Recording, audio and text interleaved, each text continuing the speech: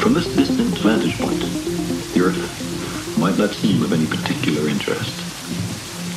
But for us, it's different. Consider again that dot. That's here. That's home. That's us.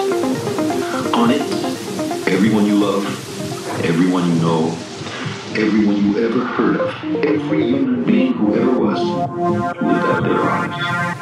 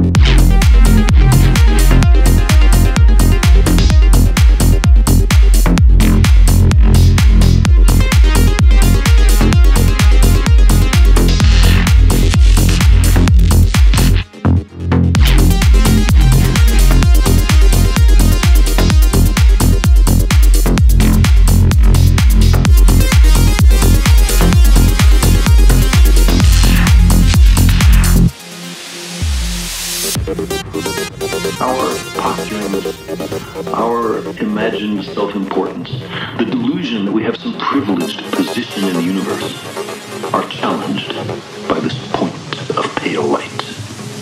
Our planet is a lonely speck in the great enveloping cosmic dark.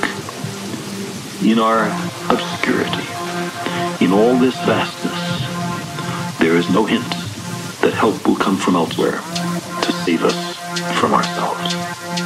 The Earth is the only world known so far to harbor life. There is nowhere else, at least in the near future, to which our species could migrate. Visit